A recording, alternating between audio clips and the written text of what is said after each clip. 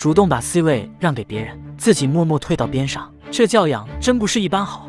蔡徐坤随着大部队上台领奖，走到中间时，发现人有点多，小小的舞台都快装不下了。蔡徐坤很是主动的退到一边，把 C 位让给了新星进小花们。胡歌撑着伞，气势十足的走上红毯，拍照时看见粉丝站在雨中，很是心疼，下一秒直接把伞收了起来。咱就说这素质，放眼内娱，有几个明星能做到？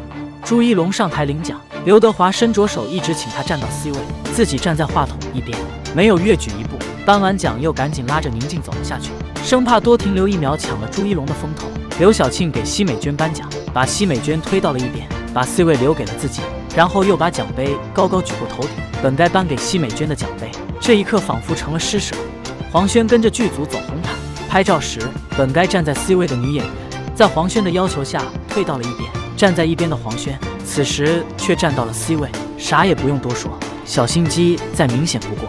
寿星杨颖被主持人钦点站在 C 位，倪妮不知道是没听见还是没听懂，直接走过来站到了杨颖的前面，明目张胆又霸气的抢走了 C 位。原本已经摆好姿势的杨颖，只得退到后面，最后只露出了一个脑袋。